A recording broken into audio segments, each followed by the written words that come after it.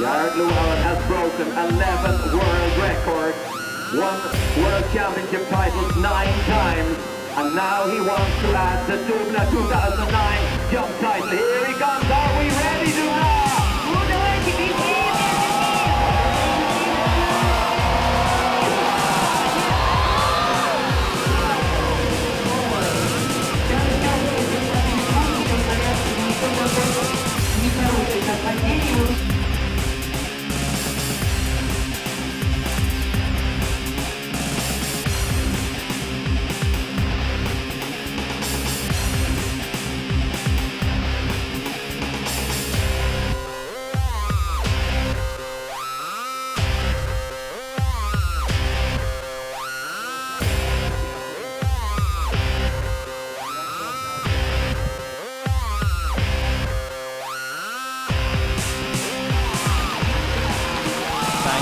Jaret Llewellyn has recovered, a little bit bruised, a little bit of pain, and listen to the applause.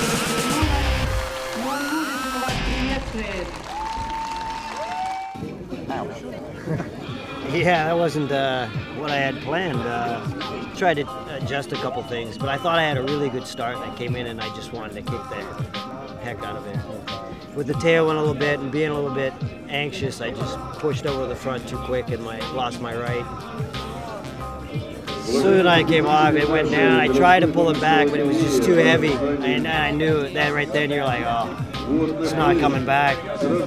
Then you just start spotting where you're going to land, and hopefully you're going fairly controlled. But I came up and my foot was sideways in the binding. Usually that blows off, or it's, you know, I've never had it crooked and the ski was straight, so I thought my ankle was broken. Like a lot of things went through my head at that point. So I got the ski off and uh, I looked at it and it just it, uh, swelled right up right away. So that made me panic a bit. My shoulder was sore, and the guy jumped in and saw, you know, it gets a little bit chaotic. But uh, got on the back of the boat. The foot definitely hurt and everything else. And, and things now it's it's not too bad. I think I I can move it and everything, and uh, everything's just really sore. I think I just banged the, the foot bad, uh, banged my knuckles, banged my shoulder. And, but usually the things that hurt right now aren't the things that hurt tomorrow because you just feel like you get run over by a truck and I'll be sore for a week and big thing is what went through my head is uh, the world championships in three weeks and uh, you know so many bones in your foot. If you can't get your foot in the bind it's not a good thing. So I think we'll be all right.